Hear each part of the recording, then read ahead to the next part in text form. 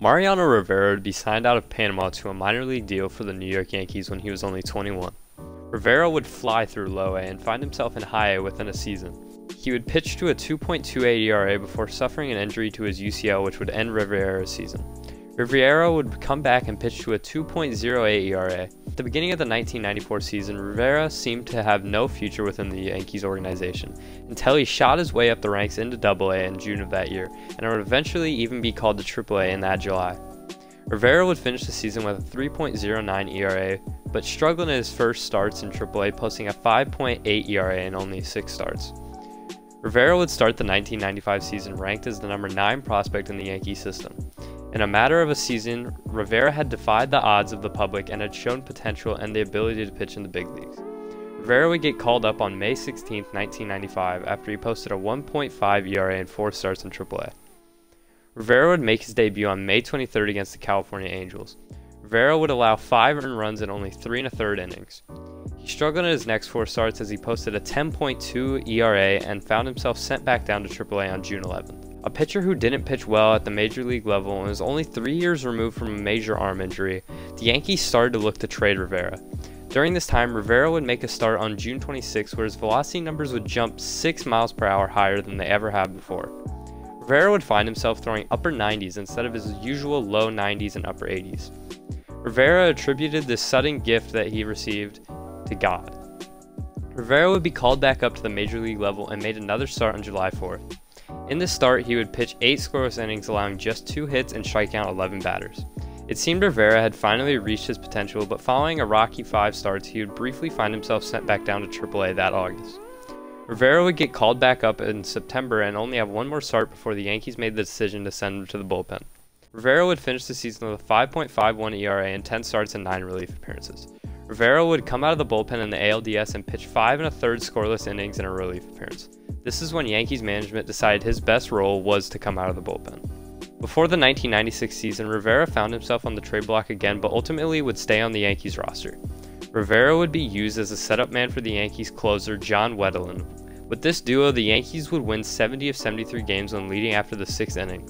During this stretch, Rivera pitched 26 scoreless innings between April 19th and May 21st.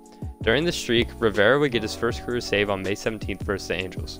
Rivera would finish the season with a 2.09 ERA in 108 innings while setting a Yankees record for strikeouts by a reliever with 130.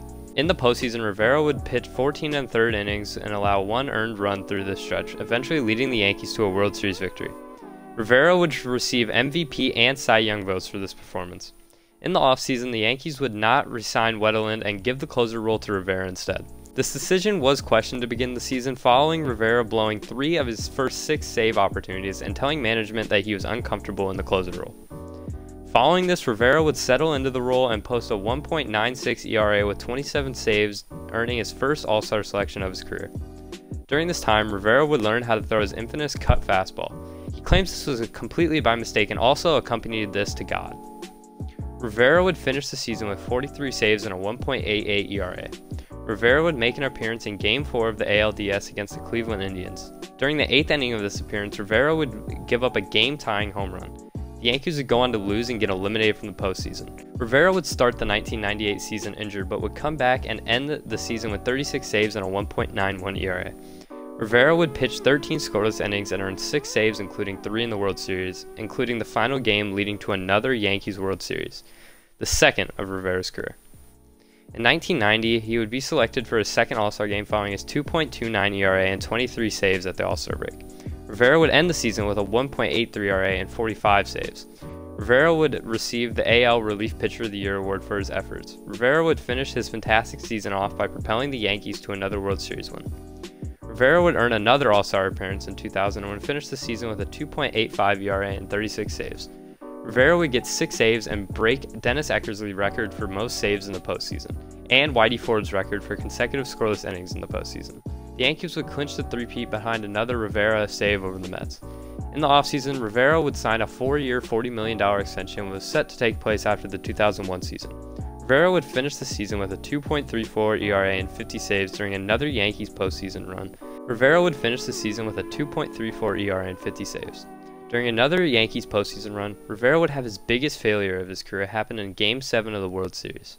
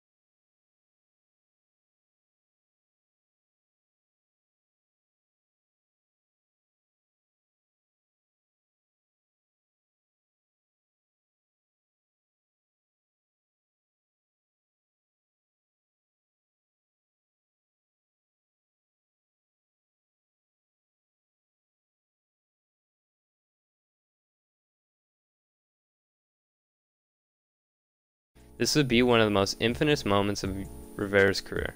The 2002 season, Rivera would pass Dave Righetti for the Yankees franchise leader in saves. Through this season, Rivera would sustain a plethora of injuries, and in the 2003 season, Yankees manager Joe Torre would reduce Rivera's workload to try to reduce injuries, but he would continue to sustain them. During the postseason, Rivera would enter the ALCS against the Boston Red Sox. Rivera would enter the ninth inning tied 5 5. Rivera would go on to pitch three scoreless innings and clinch a spot for the Yankees in the 2003 World Series.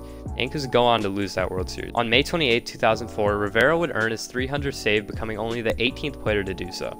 Rivera would finish the year with a 1.94 ERA and a career high 53 saves. In the postseason, despite the Yankees being up 3 0, the Yankees would lose in the ALCS versus the Red Sox. Rivera would also blow saves in games 4 and 5. Vera began the 2005 season dealing with an elbow injury and would blow his first two save appearances. Vera began to be booed during appearances at Yankee Stadium, but he would bounce back and finish the season with 43 saves and a career best ERA at 1.38. Vera would begin the 2006 season with two blown saves and a 3.37 ERA, but would once again bounce back and end the season with 34 saves and a 1.8 ERA. Rivera would record his 425th save during his 2007 season, but would finish the year with the worst ERA as a closer with a 3.15 ERA and only 30 saves. The Yankees would lose in the wild card that year as well. Rivera would bounce back in 2008, finishing with a 1.4 ERA and 39 saves. Despite having one of the best years of his career, the Yankees would miss the playoffs for the first time of his career. In the beginning of the 2009 season, Rivera's first 12 appearances would start with a 3.97 ERA, leading to speculation about Rivera's effectiveness. He'd improve as the season went on and would become the second player ever to record 500 saves. He'd finish the season with a 1.76 ERA and 44 saves. He'd pitched 16 innings, allowing only one run and recording five saves, leading to his fifth World Series victory. Rivera would come back in 2010 and have a great season, ending the year with a 1.8 ERA and 33 saves. In the postseason, he would pitch six scoreless innings and earn three saves.